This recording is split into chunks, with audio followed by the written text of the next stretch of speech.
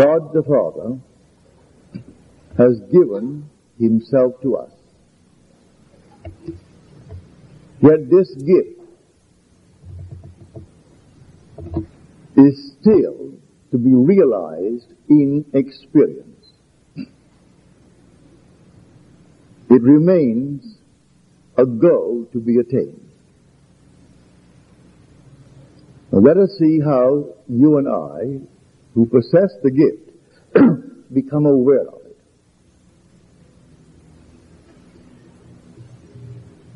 I absolutely believe 100% the statement of Shakespeare in As You Like It. All the world's a stage,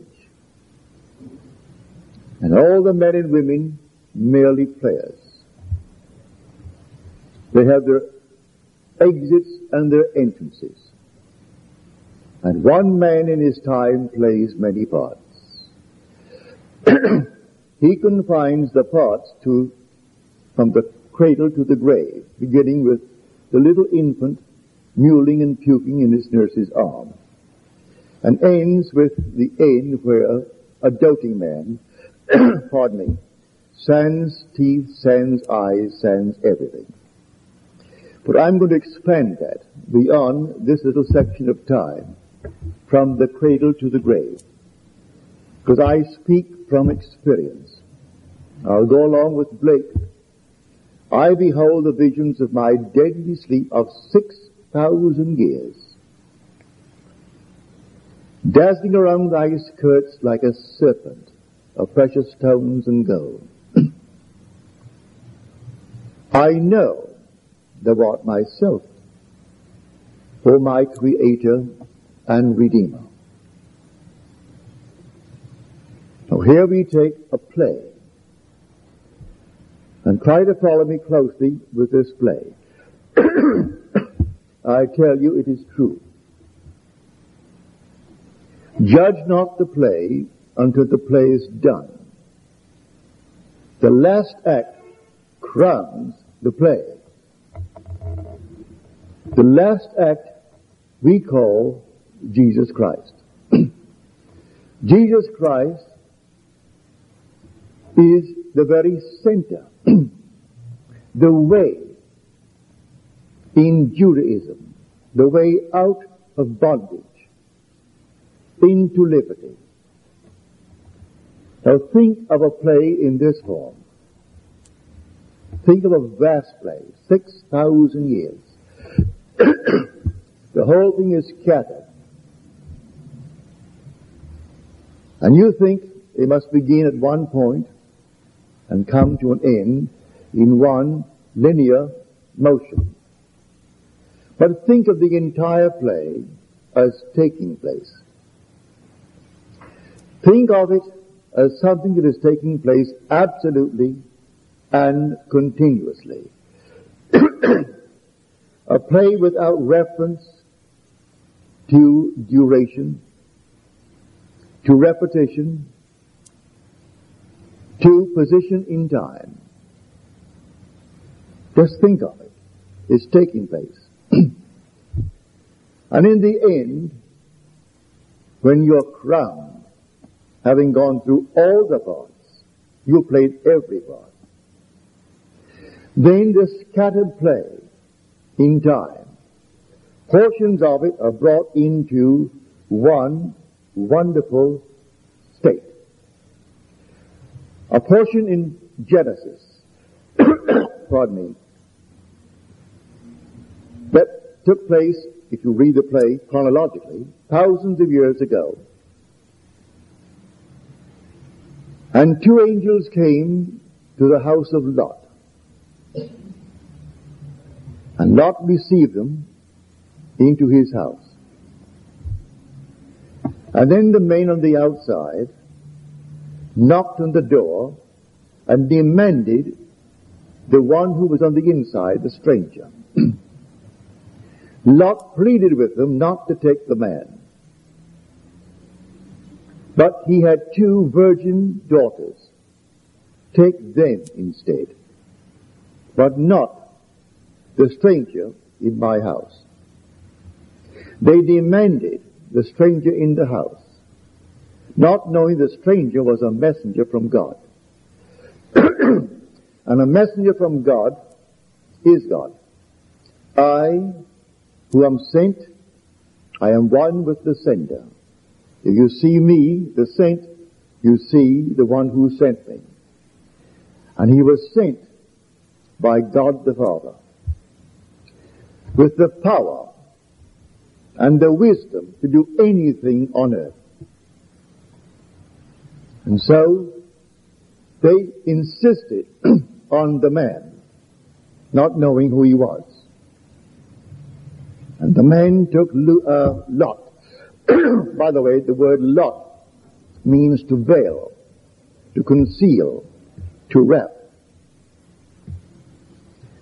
So he took Lot by the neck and pulled him into the house and closed the door, then blinded all those who saw him, so they could not find the door. It is telling you that Lot is re- not revealing, he is concealing a great secret. The word Lot means to veil, to cover, to conceal a great secret. So behind the story, there is a secret. On the outside, the men are seeking a man rather than a woman. It is telling you they are homosexuals. That's what the story is telling you. It is the story of Sodom. And then comes the power from within. And he blessed the city and brought down fire and brimstone and destroyed Sodom and Gomorrah. We have the word today, Sodom, as sodomy, which is simply homosexuality. Here the whole thing was destroyed because they insisted on the stranger not knowing the stranger was the one sent from God. that is a foreshadowing, just a shadow of things to come. When you come to the end, here is a story told thousands of years before. It's linked to a story told thousands of years later. And then linked to a story told another thousand years. Here we take this story. And prior to that, which is the 19th chapter of Genesis I've just quoted, we go back and we take the story of Abraham. And he was sitting in the tent, the door of the tent, when suddenly three men appear before him. He didn't see them approaching. They suddenly appeared and announced the birth of a son. He couldn't believe it. He was too old. And Sarah was too old. Here was the announcement. You take that story you take the story of the homosexuality, then we jump 1,000 years into the story told in Samuel. And the story of Samuel. Here is a lad who refused to wear the armament of men. They gave him the sword, the shield, everything. He said, I cannot wear these. And he went unarmed, only armed with the grace of God. A youth, a young lad, his name was David. He took five stones and went forward to meet the giant who would destroy, if he could, destroy Israel. And when he saw the youth, he left. This ridiculous little thing coming towards me. And David said to him, This day the Lord of Israel, who goes with me, will deliver you into my hands. And I will sever your head and feed your carcass to the fowls of the air. and that day, one stone went through the forehead, and he fell. He had no sword of his own, so he took the sword from Goliath and severed his head. and then threw the garment to the fowls of the air, then brought the head into the presence of the king. who had promised to set his father free if he destroyed the enemy of Israel. For anyone who destroyed the enemy of Israel, his father would be set free. Now you take these stories. Now we go into the New Testament, which is another jump of a thousand years. What think ye of the Christ? Whose son is he? And they answered, the son, son of David. He said, how then did David in the Spirit call him my Lord? If David in the Spirit called him my Lord, how can he be David's son? And they asked him no more.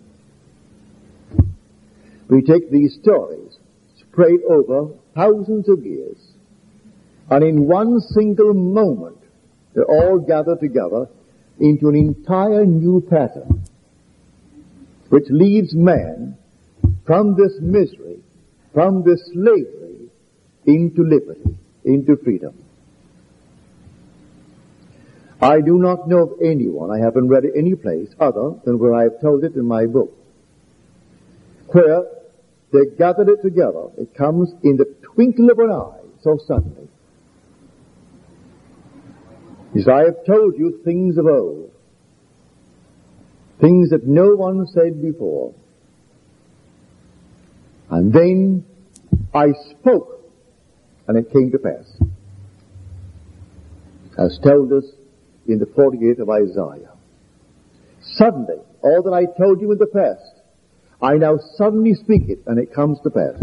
He gathers all these things together. Now, how do you take here is the promise. I will give you a son. In spite of your age, you're a hundred. And she is beyond the time of the bearing of a child. And here comes Lot, the nephew of Abraham. He entertains the angel of the Lord. And homosexuals want the angel that they saw. It was a man. They do not wish his virgin daughters. They want the man not knowing he has the power and the authority of God, for he is sent by God, and the sender and the sent are one. He pulls Lot, which means the concealed, the veil, the hidden, the secret, into the house. Then he blinds them so they could not find the door. And he calls down brimstone and destroys Sodom and Gomorrah. These are widely separated in time. Another thousand years, we find David destroying the enemy of Israel. Here is the head, severed from the body. The body is thrown to the powers. And here is one that now the Lord says, You are my son. Today I have begotten thee. We jump into the story of the Lord, for Jesus is called the Lord. David calls him my Lord, which means my Father. When it happens to you, and it was going to happen to you, not one person in the world can fail. Or as we are told in the 32nd chapter of Deuteronomy, the 8th verse. When the Lord separated the peoples of the earth, He set bounds to the peoples according to the number of the sons of God. This whole drama is a transformation, a complete transformation of the Son into the Father. That's the mystery of the entire story. God and God alone plays all the parts. There's nothing but God playing all the parts. And all the phases, all the appearances, such as Stanley, such as Nan, such as anyone in this room tonight. No matter who you are, that is a phase called the Son of God. But the one playing it is God the Father. When He brings you to the end, this thing closes in upon you and forms an entirely new story which you experience, revealing you as God the Father. While the play is lasting, you cannot tell it And you wonder, how long, oh Lord, how long? Because the whole thing seems to be a repetition, over and over and over again. There isn't one vile crime in the world that is not openly described in the Bible. We think crimes are today, read the Bible carefully. There isn't one that is not described in the Bible. And described in the nth degree. When you come to the end, and you've played all the parts, then you are crowned with God Himself. Now, this is how it happens. Who would have thought that a story told, this is 1971, this is the 20th century, who would have told that a story told? 2,000 years BC and one told a thousand years BC, and one told the first century AD, is contemporary with the 20th century. The whole vast 6,000 years, which men could not understand, suddenly portions of it come together like a magnet and forms an entirely new story and you, the individual, experience it. And what do you experience? Suddenly, the one he said, You are my son, today I've begotten you, stands before you.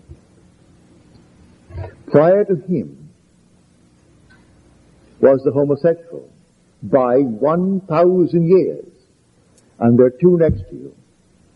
And they're looking at him concupiscently it is not said, or is it not said of him, I have found in David, the son of Jesse, a man after my own heart, who will do all my will? He is the one he sent. He is called the hidden one. In the Old Testament, a way back, he is the secret. Now a secret or a mystery in scripture is not a matter to be kept secret but a revealed truth that is mysterious in character. He calls him in. Who calls him in? The one who was sent. Here he stands before you, and two homosexuals stand before, next to you, and they're looking at him. And you know they're looking at your son concupiscently. And you warn these two homosexuals of his victory, and before you on a table is a head, an enormous head, severed from the body, and there is the head of Goliath. And you're living in the 20th century. And here is the head of Goliath, here is David, and here are the two homosexuals from the play of Lot. Here is a play completely fragmented, taking place forever and forever a thing to be done absolutely and continuously without reference to duration, to repetition, or to position in time, but sometimes with reference to past time. So you take all that is seemingly past because you read it, and having read it, it seems to you, having read it, it is past.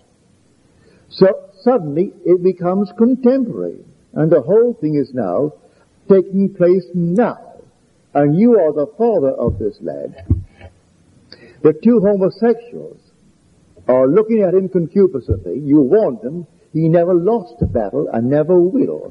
For he said when he went into battle, I go in the name of the Lord God of Israel. And this day he will deliver you into my hands, and I will sever your head and feed your body to the fowls. That day he severed his head. The whole thing actually unfolds before you. And this whole drama then reveals to you who you are. You are God the Father. The transition took place. That was God's promise to his sons. You will go into hell. And this world is hell. There is no other hell. Every vice possible for man to experience is clearly and openly described in Scripture. Read tomorrow morning's headlines or anything, nothing transcends what is in Scripture. As to violence, you have played it, you are playing it, and you will play it if you haven't. Then comes the end. And the end is the crown of the play. So judge not the play until the play is done. The last act crowns the play. And the last act is the story of Jesus Christ. Jesus Christ is the pattern man. He is the way in Judaism that leads Judah, which means the world, from slavery into liberty, from bondage into freedom, from this world of Egypt into heaven. So the whole drama is taking place in us, my dears. How near you are to this eruption, I do not know. You're told no one knows but the Father. For here, as the part that you're playing, you are the Son. Not one child could be born in this world unless occupied by a Son of God. He has set the bounds to the peoples according to the number of the sons of God. So today they're trying to stop the population explosion. Oh, they'll try it. Maybe they think they will stop it. But not one child can be born who is not actually a garment worn by a son of God. It takes all the sons to form the Lord. So when you awaken from your present state as Son of God into God the Father, you contain all, and you will not rest until every one is brought back. Every one must come back, but every one must have the experience of wearing a garment called a Son of Man. So he scattered the sons of men and then place bounds to the peoples according to the numbers of the sons of God. And when it happens, the play, which man could not understand, you're reading it now as secular history. Well, the shadow is cast in this world. And you do see the shadow of violence in the world, all the crimes of the world. But this thing was done before that the world was. It's called the furnaces of affliction in Scripture. And when you have passed through them all, then things that were scattered and widely separated in time, like the story of Abraham, then the story of Lot, then the story of David, then the story of Jesus, all in one single moment. How could you put it all together? Here I stood in this wonderful, marvelous interior, a simple interior, and here is a man recorded as having lived 1,000 years BC, and I've gone 3,000 years beyond him. And here are two homosexuals that went 1,000 before him, and they are present too. And here is the entire thing unfolding before me with the head right before me. And I know my son brought that head in. I turn to these. They're widely separated by a thousand years. And I turn to them and I warn them that my son never has lost a victory and he never will. For he said that the Lord of Israel goes with him. And the Lord of Israel said to him, Thou art my son. And he is my son. He is telling me who I am. And I go with him and he cannot lose a battle. And here the entire play unfolds before me. And God created the two homosexuals. He created David. He created everything in that play. It's a play. He condemns none. He does not condemn the homosexuals. They're part of the play. He doesn't condemn anything in the world. The severed head, here is the head. An enormous head, may I tell you? There's no head in the world. No matter how big it is in some museum, it doesn't compare to that head. It filled the entire table, right straight from the neck. That's all it was. From the neck, the body is severed and paid to the fowls.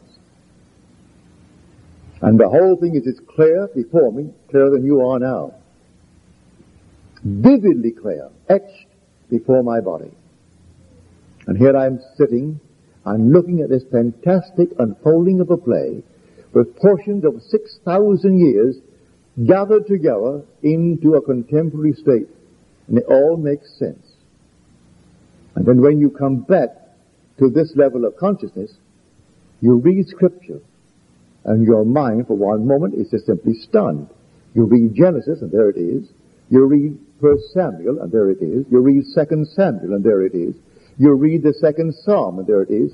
You go forward into Luke and there it is. And here, 6,000 years gathered together into one contemporary moment. And you are the central figure and you are God the Father. I am telling you what I have experienced. So here, God Himself gave Himself to us. Yet that gift is still to be experienced. It remains a gift, something that we do possess, but a goal to be attained. It must still be experienced. When you experience it, then it's yours. And then at any moment after that, you can drop off this garment. And you can say with Paul, I have finished the race. I have kept the faith. I have fought the good fight. And now the time of my departure has come. If I linger for a year or a few months, what does it matter? Only to tell and encourage everyone who hears it that you are the only one spoken of in Scripture. You are not the little thing that you think you are. You are and always have been the Son of God, destined to be God Himself. That's the play. So as we are told by the poet, be patient. Our playwright will show in some fifth act what this wild drama means. He will show the meaning of it all. Well, I can tell you the meaning. The meaning is to reveal God. And when God is revealed in you, He is you. It's lifting you, the Son of God, to the level of God the Father. That's the greatest of all mysteries. How can a son become his own father? And that's the mystery of the play. You become God the Father. You become the playwright. You become the author of it all. And in the end, everything is forgiven. So you've played it all, or you are playing it all, or you will play it all. And in the end, you and I are one one King, one Lord, one God and Father of it all. And may I tell you, one body. And oh, what a power. I can't begin to describe to you the power that is yours, the wisdom that is yours. Blinded, yes, while you're here, completely shut out. But when it happens, you have a power beyond the wildest dream of man. Nuclear power is like little firecrackers for July the 4th. It means nothing. We speak of the exploding suns and the power of a sun. It is as nothing to the power that is yours. You're coming into that power with the wisdom to use it lovingly. May I tell you a beauty beyond the wildest dream power, but don't think for one moment it is violent. It will then be used lovingly. And when you actually wear, and you will wear, the human form divine, and that form is love. And I can't describe to anyone in mortal words what I mean by a form that is love. And yet it is a form, and it's love. And it's your form. And when you stand and look at David, David is the image of it only in youth. And you are the Ancient of Days. You are the infant of love, the Ancient of Days, and David, the sum total of all of your experiences, is the image of you. Only he is youth. He is eternally young. He is the result of all the pain and the suffering that you have had. So when tell, someone tells you that you can do so and so and avoid this and avoid that, all right, play the part beautifully. Take the law and use it wonderfully well. Use it. But may I tell you, you will not avoid the essential parts, for joy and woe are woven fine, a garment for the soul divine. Now a few of you are having some strange, interesting, mystical experiences. I'll go along with Blake because I too have gone through the worlds of which he speaks. I travel through a land of men, a land of men and women too, and heard and saw such dreadful things as cold earth wanderers never knew. For where the babe is born in joy, it was begotten in dire woe. Just as we reap in joy the fruit which we in strange ways did sow. Now he tells us in that fourth verse of his wonderful poem, The Mental Traveler. And he mentions the exact parts of the body that really are nailed to this cross. He said he pierced. First of all, the child is pierced upon a rock. His hands and feet, his head, a crown of iron thorns. They cut his side out, or they cut the side, that he may feel both cold and heat. It is your head, your hands, your feet, and your side. But he's telling it poetically, but he mentions the identical parts where you are actually nailed and pierced to this garment of flesh. But he told it in his own wonderful, beautiful use of English. I know from my own experience that's exactly how it happens. I pass through these worlds night after night. And I see exactly what he's describing. And some of you are passing through these states now, and you are scaring to death those who love you, and think that something is wrong with you. May I tell you, not a thing is wrong with you. You are near the end. That's why you're passing through them. So let no one stop. First of all, they couldn't stop you anyway. You couldn't be stopped now. It's too late. And who would want to stop it when you're near the end to receive the crown? So, you fought the good fight, and you have finished the race, and you have kept the faith. And now there's laid up for you the crown of righteousness. Let no one now bother me, for I bear on my body the marks of Jesus.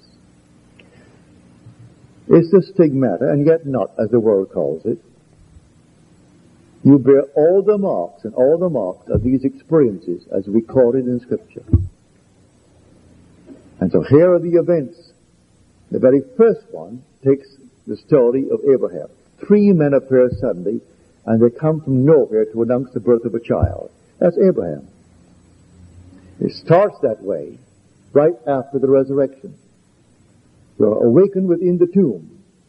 And then three men, after you come out of it, and you're born from above, three men appear. You don't see them coming. They appear suddenly. They come to witness the birth of that which they had foretold. Is anything too hard for God? And so here is a child you said you could not have. Well, there he is, wrapped in swaddling clothes, and you call him Isaac, as I told you you'd call him. And Isaac means he laughs, and he does. You pick him up, and he bursts into the most heavenly smile. He laughs. That's told in Genesis. And here's the year 1959. That's a long time. 2000 BC, it's 4,000 years, and then it happens. And then comes my son. As I told him, you are my son. But I didn't know I was his father until God gave me himself. I went through hell. And then came that moment in time that he kept his promise. And his promise is he gives himself to us. And yet the gift is still to be realized in experience. Then comes the experience and you realize it. It remains the gift as a goal to be attained until the experience and then you realize it. And here, 1000 BC, those words were said, I say unto you, you are my son. Who is saying that? The Lord is saying it. And he stands before you and reveals you as the Lord. And then you turn to scripture. The first century. What think ye of the Christ? Whose son is he? Son of David. How then does David in the spirit call him my Lord? If David calls him my Lord, how can he be David's son? And here the whole thing stands before you, then you know who you are. To whom did he say that? He said that to the Christ, who is called the Lord. And only David can reveal him. No one else can reveal him. And so David reveals him as the Lord. So I tell you, Shakespeare, though the greatest of all poets in the English tongue, was also the man of vision, with the capacity to write such beauty. And he told it in the play. So you and I go and we are amused as you like it. It's a very amusing play, if you've ever seen it. I love it. Last time I saw it was in Central Park in New York City. In the summer, they have these open air theaters. And we saw As You Like It. And here he throws these words upon the wind. And who really got it? All the world, all the world's a stage. And all men and women merely players. They have their exits and their entrances. And one man in his time plays many parts. Then he mentions the seven parts from the cradle to the grave. But I explained it for you tonight. It takes in a far greater time than the span between the cradle and the grave. It takes in the 6,000 years. And the play is all told in the Old Testament. The Old Testament is an adumbration, a foreshadowing that no one could understand. And Christianity is simply the way within Judaism. It was before the play. That was the purpose of the play. It had a purpose. The purpose comes first. Then the play to unfold the purpose. So Christianity is the purpose buried in Judaism, which is the play. And when it unfolded, they would not believe that was the meaning of the play. So they continued to observe the outer ceremonies, which is simply the play. But as it erupts and unfolds within us, we see all these parts, widely separated in time, pull into a single act. And here you see all these characters, and they're still alive. These are the eternal states of consciousness. David is forever and forever and forever. He is forever the prince because you are the king. And if you are the father of David and you are king, he has to be a prince. I'll make him prince forever, you're told in scripture. He's eternally the prince, awaiting the father who is king to recognize him, and then memory returns. In fact, now it is given, for prior to that you were the son of God, and now you are God himself. That is the sacrifice. So God gives himself to us. Yet the gift remains a gift until experienced. When it is experienced, we become possessors of the gift. And the gift is God. You are God himself. So I know from my own experience that I experienced it as I, my ordered race, have run.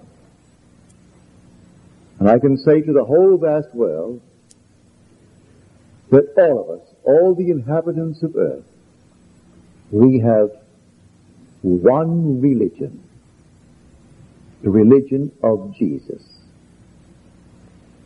And that is the eternal, everlasting gospel. There is no other. It is the heart, the purpose of Judaism. Judaism is the foundation stone. That's the play. But before the play was written, there was a purpose behind the play. And the purpose was concealed. It was hidden. And in the end, the purpose unfolds in a way that no one, knowing only the play, could ever have seen it.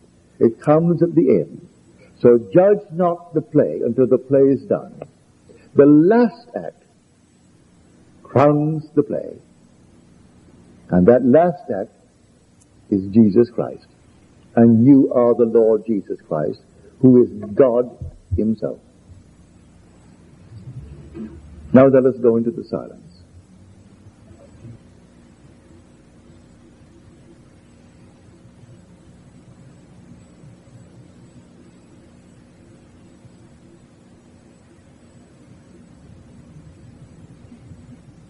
Good. Are there any questions, please? Yes, Frank. You told us a while back, what are the five stones house? The five stones, five in scripture means grace. And grace comes through Jesus Christ. Grace and truth came through Jesus Christ. And grace is a gift of God, unmerited, unearned. There's not a thing that the Son did to merit being the Father. It was the God, the Father's desire to raise his Son to the level of himself. It only means, it doesn't mean a little stone, that's all symbolism. He was armed only with grace. That is sufficient for you as we are told in scripture. And when the thorn in his side screamed out for correction, three times he appealed to God to remove the thorn. And three times the Lord said to him, My grace is sufficient for thee, for my power is made perfect in weakness. So your weakness could be anything. It could be bankruptcy. It could be a physical pain. It could be anything. Whatever is human is weak. For we are all weak in these garments. But my grace is sufficient for thee. Go armed only with my grace. You have no sword. So you take the sword from the one that you, by grace, brought down. And then you sever his head for his own sword. So five simply means grace. And grace is God's gift of himself to man.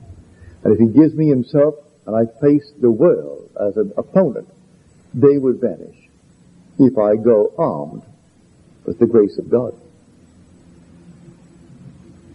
Not by might, nor by power, but by my spirit, saith the Lord. So if I am armed with the grace of God, what does it matter? What opponents will say?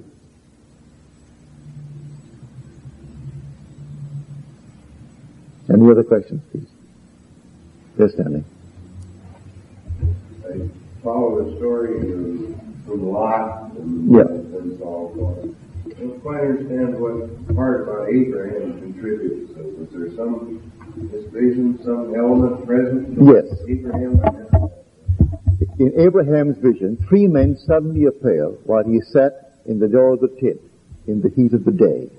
He didn't recognize them as messengers of the Lord, and he didn't rec- recognize that one was the Lord. And when he questioned at moments that he, an old man, could have a child, they said to him, Is anything too hard for the Lord? And he admitted, No, there was not. So he believed that nothing was too hard for the Lord, in spite of the fact he was already hundred years old and Sarah ninety. So when the child is born, three men appear. In his case, there were three. In Lot's case, he offered his two daughters. Therefore, in offering two virgin daughters, he was offering the two men. and there were two homosexuals who appeared in the drama. So here, the child appeared first, and that was the story of Abraham because three brothers appeared. And these three brothers simply to deny that you, born, could have the child, but the third one spoke and lifted the child and he embraced it and it smiled in his face. It was Isaac, the laughing one.